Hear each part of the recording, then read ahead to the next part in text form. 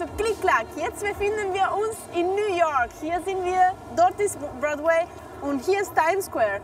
Gerade habe ich ein neues Mikrofon bekommen von meiner Königin.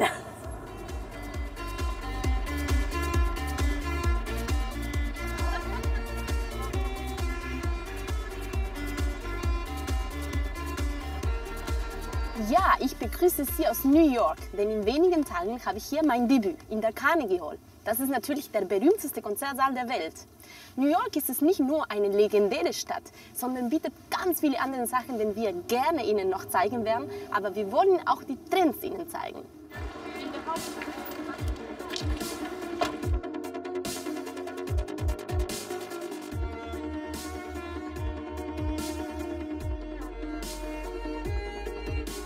Diese junge Dame sorgt hier gerade für Furore.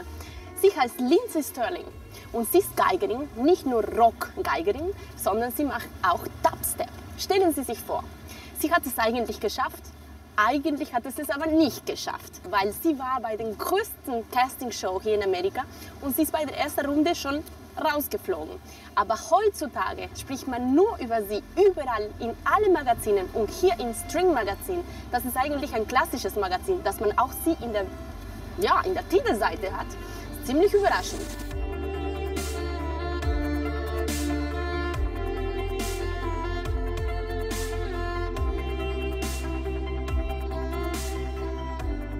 Okay, this is um, a piece I wrote. I'm going to start with a Okay, ich classical fange mit piece einem that I klassischen have Stück an, das ich selbst composed komponiert myself, habe. um, and then Und it's dann going mache to ich kind ein of just Hip-Hop-Stück break draus. off into a Das hip-hop erkennt ihr piece sofort. um, that you might recognize. All right, here we go.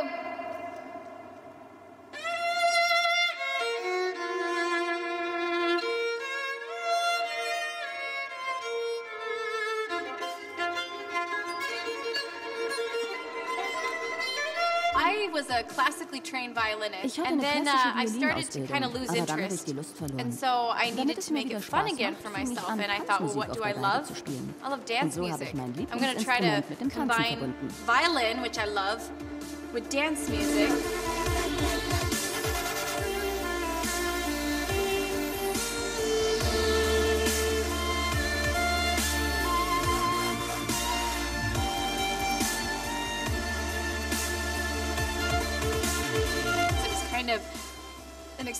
Because schon I'd eine never done unglaubliche anything with Erfahrung. dubstep Ich hatte music ja nie before. vorher etwas And mit I, Dubstep zu honestly, tun I was gehabt. afraid people would hate it.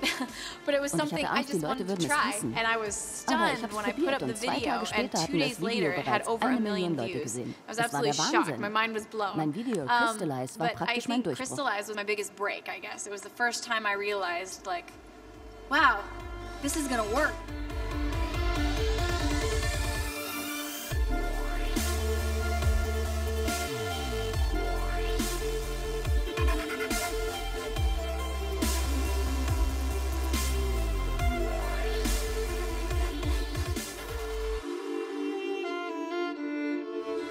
Just doing things on YouTube, you see these YouTube huge präsent ist und numbers. You know, like I mean, I just passed up 200 million views, which is crazy. That 200 Es ist doch million people have watched something I've done.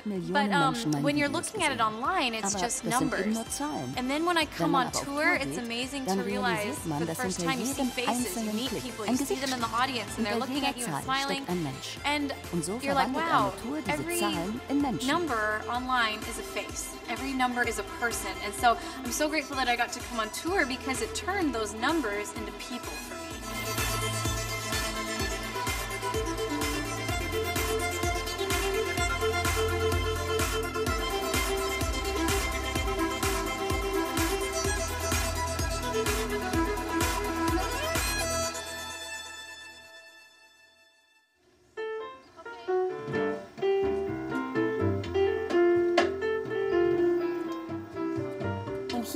Schon vor dem Carnegie Hall. So, morgen gibt es hier ein Konzert.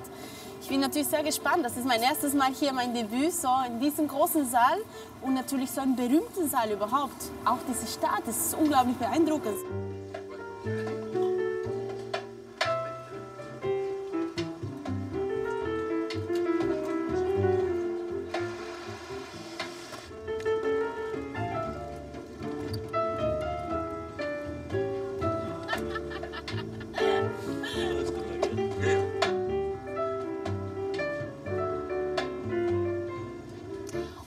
Zeitschrift habe ich jetzt bekommen hier in New York in einer Instrumentenmesse. Eine Instrumentenmesse, die eine von den größten ist. Und natürlich für mich auch als Cellistin unglaublich interessant, dabei zu sein, zu schauen, was gibt es für neue Instrumente, obwohl ich mein Cello auch natürlich liebe.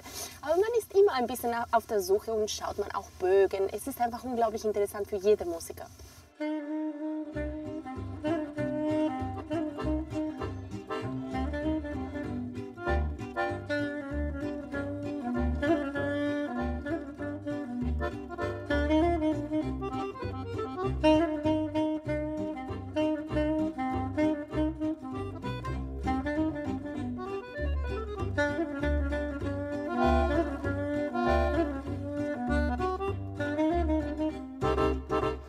Einfach spannend, weil man kann ganz viele verschiedene Bögen und Instrumente ausprobieren. Viele sind moderne Instrumente hier. Es war eher schwierig, denke ich, von was ich jetzt kurz gesehen habe, alte Instrumente zu suchen, zu finden. Auch zum Beispiel Instrumente wie meinen Guadagnini. Das wäre einfach sehr interessant gewesen, das zu vergleichen. Aber ich bin trotzdem gespannt zu sehen, was heutzutage gemacht wird, was heutzutage gebaut ist. Von der Seite denkt man, das ist wirklich wie äh, Torre de Pisa. Ein bisschen schief. Der Hauptgrund, äh, die Instrumente so zu machen, wie sie, wie sie hier zu sehen sind, trichterförmig, das hat einen physikalischen Hintergrund. Nämlich wenn man vor vielen Menschen steht und, und spricht und hat kein Mikrofon zur Hand oder ähnliches, macht man automatisch eine Bewegung mit den Händen, um sich äh, auszudrücken, bis in die letzte Reihe. Diese hier. Das stimmt. Das ist der Grund, warum sie das gemacht haben. Genau.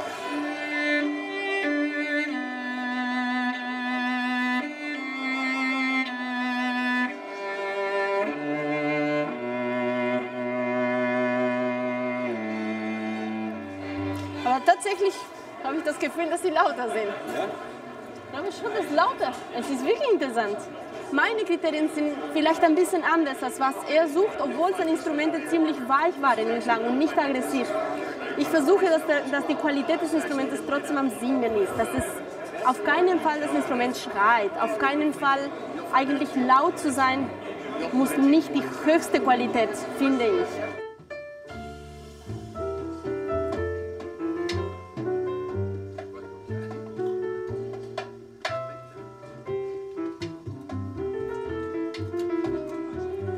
Hier hat man zum Beispiel in diesem Raum jetzt nicht das Stradivari oder solche Instrumente. Das sind natürlich überhaupt das Größte, was man haben kann. Das sind die Diamanten. Diesen Diamanten sieht man eigentlich selten äh, in solche Orten. Ich hätte gedacht eigentlich, dass ich mehr sehen könnte. Ich hoffe, es gibt mehr, aber bis jetzt habe ich nicht gesehen. Aber so ein Instrument ist natürlich von einer Million bis, weiß ich nicht, bis 10 Millionen kann es kosten, je nachdem natürlich. Das ist eigentlich die Cousine, meine andere zwei Babys zu Hause. Das ist auch ein Guadagnini. Das Giovanni Battista, nehme ich an, ne? Ist ein Giovanni Battista?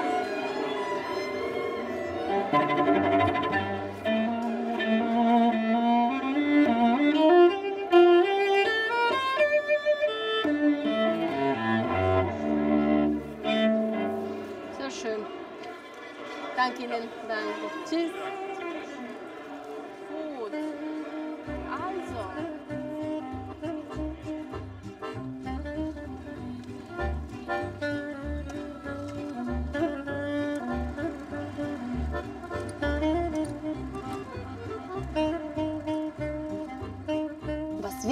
Super war, einer der Instrumentenbauer, der hier in New York wohnt, hat uns in seine Werkstatt eingeladen.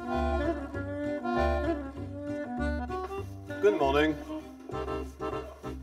Wir hatten Mondo Musica gestern. Okay. So, ich habe dasselbe Ausstellung. Das sind Instrumente von mir, actually. Äh, Das ist die letzte Geige, die ich gebaut habe. Das ist eine Kopie. Das ist eine Kopie von die 1720 äh, Rot Mendelssohn Stradivarius. Es gehörte jemals zu die, die Mendelssohn-Familie. Das heißt, Copy, Sie haben praktisch genau die Farbe und alles genau gleich gemacht. Praktisch alles genau das gemacht. Aber So- klingt sie auch so? Es klingt, es klingt schon sehr, sehr gut. Es muss nur sicher ein bisschen eingespielt werden. Diese Geige, die ich kopiere habe, das ist die Kopie von den 1720 Red Mendelssohn rote Violine. Und das ist, das ist hier auf meinem Kalender. Das ist die rote Mendelssohn Geige. Und es gehört Elisabeth Pitcairn. Ihren Großvater hat das in 19 1990 bei Christie's gekauft. Für Elisabeth Pitcairn. Was hat er damals bezahlt? 2 Millionen Dollar damals. Und heute? Und heute ist es zwischen äh, 10 und 20 Millionen Dollar wert, die Geige.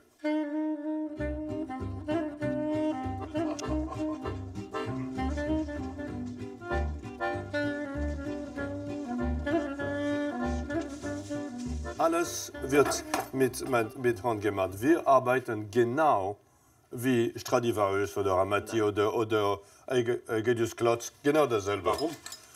Weil es Was passiert mit dem Holz, wenn ich das mit der Maschine machen würde? wenn man mit der Maschine arbeitet, man, man kriegt kein Gefühl für Holz.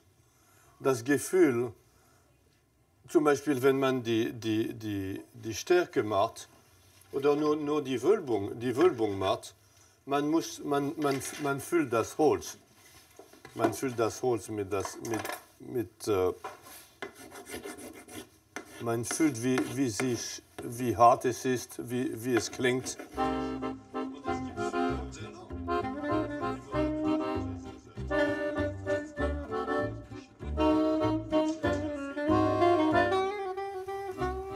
Das Cello hier ist sehr, sehr selten. So, wir, wir sehen, das ist innen hier Wart. Es gibt ein paar, sind ein paar Rissen, dass wir äh, äh, äh, sauber machen und zuleimen. So, Sie sehen hier zum Beispiel, das ist ein Riss, der sauber gemacht wird. Und man muss sehr aufpassen, dass man kein Original-Lack wegnimmt. Der Lack ist wie die, eine Gemälde. Ist das so? Ja, ja, der Lack ist total preziös. Ich meine, man muss aufpassen, dass man keines originales Lack berührt. Der Lack wird, geht weg, wenn, wenn es schlecht restauriert ist oder wenn die Leute nicht vorsichtig. Man muss eine Geige nicht zu offen putzen, weil jedes Mal, dass man es ein bisschen putzt, geht ein bisschen von der Lack weg. So, das gibt, es gibt noch sehr viel Arbeit auf die, die Decke hier. Es sind noch drei oder vier. Aber sagen Sie, wenn sich jetzt so ein. Sie nehmen ja auch sicher eine Stradivari komplett auseinander, oder? Oh ja, das, ja, immer, ja. Immer. Ja, I mean, ja, wenn es es braucht. Aber wenn eine Geige sehr gut klingt, man muss nicht drauf machen. Könnte man rein theoretisch aus einer Stradivari den Deckel nehmen und die Seite. Man könnte ja mehrere Stradivaris aus einer machen. Das haben Leute in, äh, in, in England äh, gemacht, vor, gemacht? Ja, vor 150 Jahren. Zum Beispiel eine Decke behalten und ein falsches Boden Mhm. Ja. bauen. Und mit den Boden, die machen eine falsche Decke und die machen zwei Stradivarius von ein. Aber das wird jetzt wird alles äh, entdeckt, weil es gibt eine, eine Kunst. Man die Jahr, jedes Jahr des, des Deckes chronologisch so, weil die, auf die Decke der, der rotes Jahr ist Winter und der weiße ist Frühling und Sommer, wo der Baum wächst. So jedes Jahr ist anders. 1 mm, 0,9, 1,2. Immer jeweils Frühling ist anders. Frühling wieder anders. Die, ja. die, und die haben das auch für, um den, äh, das Wetter von 300 Jahren zu Können Sie kennen. genau sehen, wie das Wetter da Ja, genau. Zum Beispiel, ich hatte ein Amaticello. Man braucht die Dendrochronologie nicht zu machen. Man kann sehen, eine Menge Jahre, 30 oder 40, die sehr, sehr schmal sind, weil es ist sehr, sehr kalt für 30 Jahre gewesen in Europa, in äh, Südtirol oder. Weil ich, ich, ich weiß nicht was, genau, was passiert ungefähr um 1500. Es war sehr, sehr kalt für 30 Jahre. Man kann es sehen. Aber wenn man es masst, messt und dann mit der Maschine und Computer analysiert, man kann genau se sehen, wie alt der Baum ist. So das ist sehr selten. Das wird wahrscheinlich dann eher 4 Millionen. Das wird ungefähr 2 Millionen Dollar sein, ja. ja.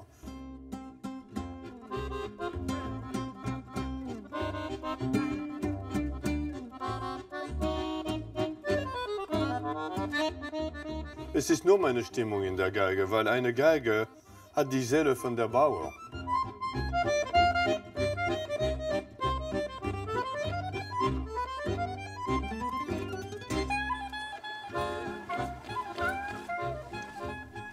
Eine Show ist gerade hier in den Schlagzeilen. Natürlich freut mich besonders, weil das aus meiner Heimat kommt. Das ist von Astor Piazzolla Tango, eine Oper. Die heißt Maria von Buenos Aires. Maria von Buenos Aires, Maria, wurde gespielt von einer meiner besten Freundinnen aus Argentinien. Diese Freundin habe ich seit 20 Jahren nicht mehr gesehen. Aber stellen Sie sich vor, jetzt singt sie in der Hauptrolle hier. Und durfte man eigentlich nicht filmen. Aber wir haben es trotzdem mit dem Handy jetzt gefilmt. Yo soy María de Buenos Aires, de Buenos Aires, María, no ven quién soy yo. María Tango, María del Arrabal, María Noche, María Pasión Fatal, María del Amor, de Buenos Aires soy yo. Now, people are gonna watch this and they're gonna hate me they see it and I say, yes, you have to be Argentinian. Because Die then, you Leute know, werden mich only hassen, wenn ich Argentinians could do it. ja, du Of musst schon Argentinier sein und nur Argentinier können Uh, das of auf course, there's some stylistic, Ja, es braucht eine gewisse Leidenschaft. Und da würde ich schon sagen, du solltest Argentinierin sein. of Aber Quatsch, du kannst es natürlich als not impossible Nicht-Argentinier to fühlen. Seré más triste, más descarte, más robada que el tango atroz que nadie ha sido todavía. Y adiós daré, muerta y de trote hacia la nada, el espasmódico temblor de cien Marías. But actually, it's, it's, Mal it's ehrlich, somehow a melancholic thing in the blood, in the im Argentinian blood. Blut? Alles Everything is so sad. I think, uh, well, the music that came out, uh, mostly tango music, it's very street related, Naja, right? der It Tango kommt natürlich von der. Straße. You think about Und das streets, sind nicht gerade glückliche usually there Geschichten. weren't happy stories. So if you go to actually folk Argentinian Aber music, die argentinische Volksmusik ist sehr it's- rein it's und much sehr more, klar. um, Und ich denke, die ist it's gar nicht more pure. melancholisch. Pure kind of language and a pure kind of music, and uh, it's kind of different. And I don't think it's melancholic at all. María Tango,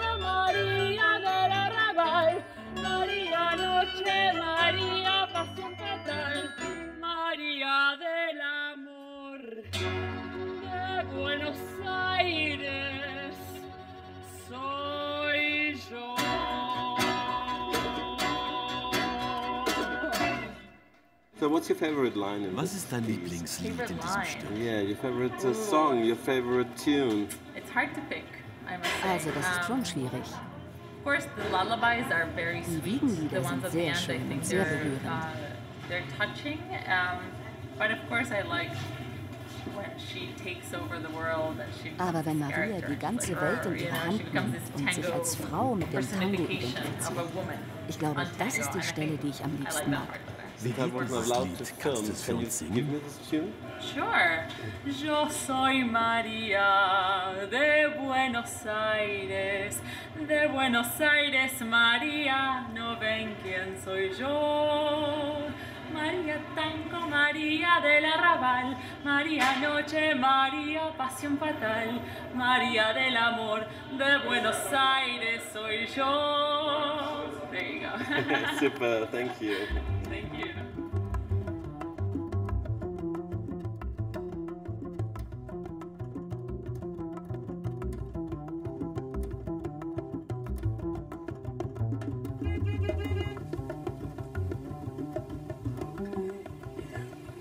Oh, I did a TV show years ago. Ja, I ich war auch did schon mal im the Fernsehen. Ellie Dillon Ich habe bei show. TV-Shows I did mitgemacht. the You show. I did Phil Donahue. I'm, I'm Ich fahre seit driving 40 cab Jahren, 40 aber ich fange an zu years. vergessen. Ich But bin the only thing 75. is now I'm an old woman and I'm beginning to forget. The I'm streets now. 75. Hey, driving a taxi Taxifahren keeps scheint you jung young. zu Huh? halten. Nah. Keeps my Nee, brain aber hält mein going. Hirn fit. These buildings here, Vor 15 15 Jahren years sah es hier ago, noch were schrecklich aus. horrible. Aber jetzt all ist of hier these alles is, neu. this is all new. This is all. These are all very expensive Alles irre apartments. teure Even if you're going to Apartments, selbst wenn rent du es nur it mieten for a willst.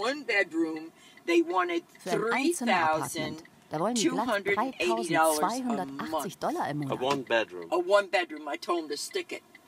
I mean, Ich habe ihm gesagt, das können Sie vergessen. $3,000 3000 for a Dollar in year? dieser Gegend, das können No Sie way. vergessen.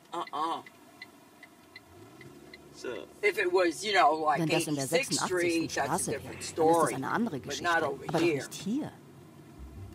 Ah, Okay.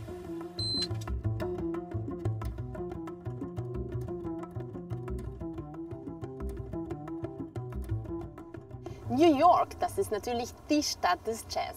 Hier gibt es natürlich berühmteste Jazzclubs wie der Cotton Club oder äh, Village Vanguard zum Beispiel. Da haben auch Louis Armstrong gespielt. Und jetzt haben wir aber jemanden besucht und kennengelernt, ein Jazzpianist, der heißt Fabian Almazan.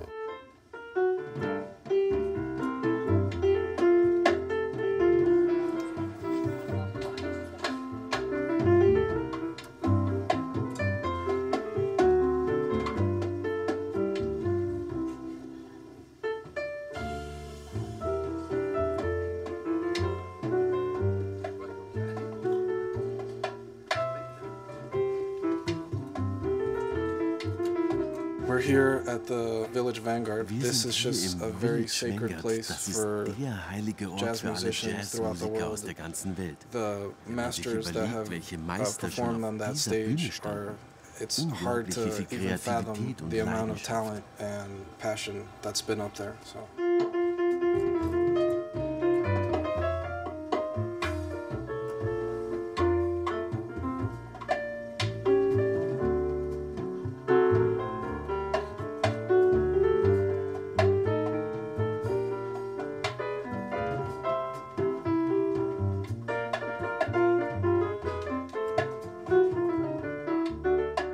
In Cuba and I I arrived Ich at the wurde in United States when I Kuba was 10 years geboren old. und bin I mit zehn embrace Jahren nach Amerika everything, gekommen.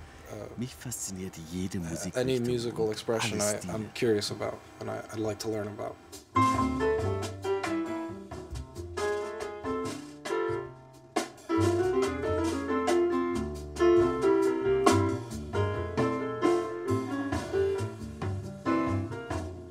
What appeals to mich me am about Jazz jazz so is that fasziniert on ist, any dass in given jeder second, Sekunde while we're jeder auf der performing, Bühne any eine musician komplette can have Gefühlsänderung haben kann. uh, an emotional Und das shift, dürfen wir and we are zulassen. free to do that.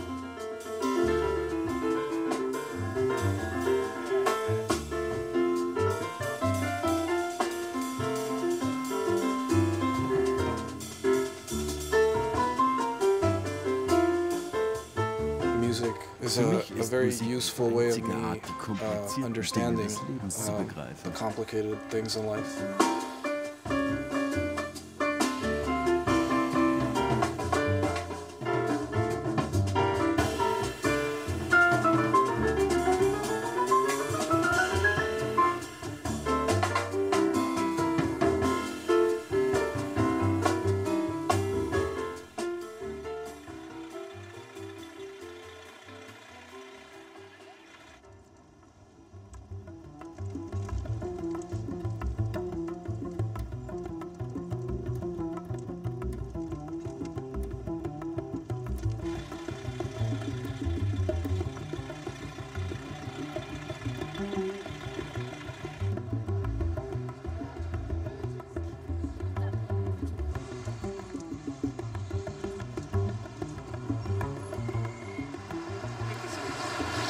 Einer Stunde geht hier mein Konzert los. Jetzt vorher kurz eine kleine Probe und wir sind dann dabei.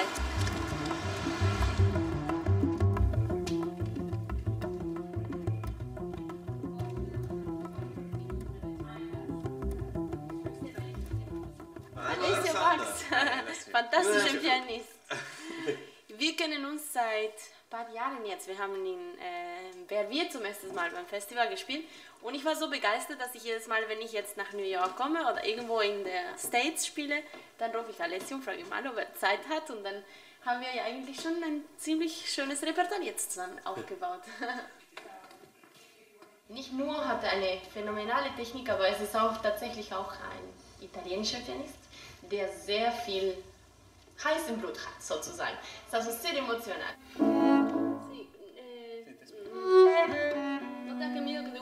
off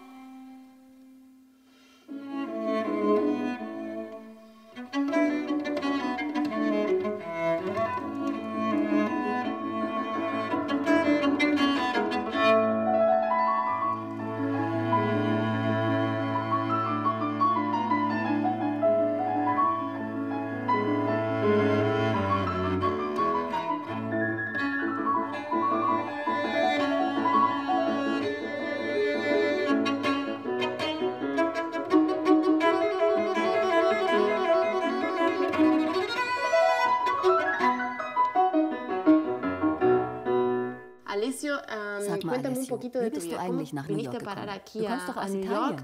Tú naciste en Italia, Sí, ¿verdad? nací en Italia, en Bari. Ja, en el ich sur bin de in Italia, Bari en el geboren. Tacón Das de la liegt Bota, ganz si ves unten im Italia como Stiefel. una bota. Und da Y war ich estudié am en el conservatorio y Konservatorium. cuando acabé el conservatorio me Dann mudé bin ich nach para Amerika Estados gezogen, Unidos, zuerst nach Dallas a, a und Dallas seit sechs primero Jahren y, lebe ich y jetzt en in Nueva New York Bist du ¿Y zum Studieren nach Amerika gegangen? Ja, da habe ich mit einer spanischen Pianistin studiert. Ah, claro. y eh, desde entonces. Y desde Und hier in entonces New York aquí has du sicher ein encontrado ganz un anderes nuevo Leben ritmo de vida. Me ganz imagino que New York debe Rhythmus. ser para un músico Ist doch también bestimmt sehr spannend, extremadamente oder? interesante, ¿no? Sí, es muy interesante, Ja, New York ist wirklich eine faszinierende Stadt, nicht nur wegen den Konzerten, auch wegen dem ah, Essen.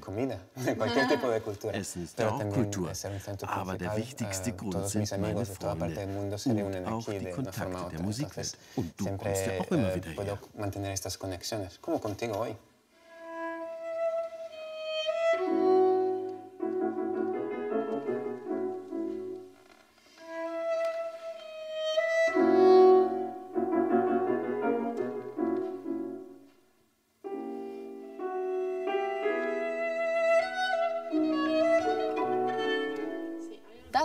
Eigentlich der größte Erfolg, wenn ich merke, dass diese Konzentrationsmomente da kommen.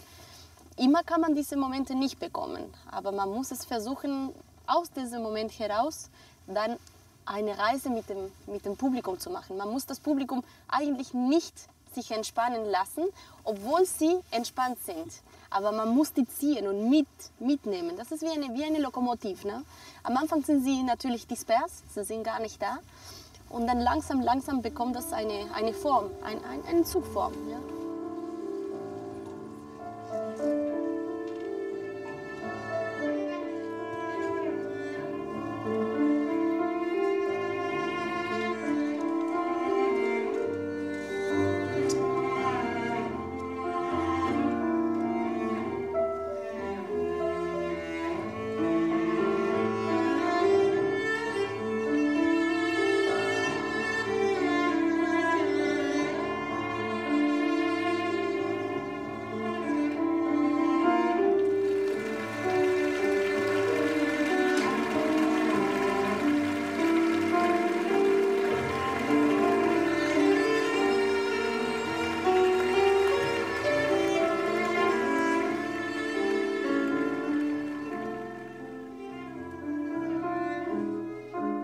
Damit verabschiede ich mich aus meinem Abenteuer in New York und ich freue mich nächstes Mal, Sie beim Klick-Klack wiederzusehen. Bis bald!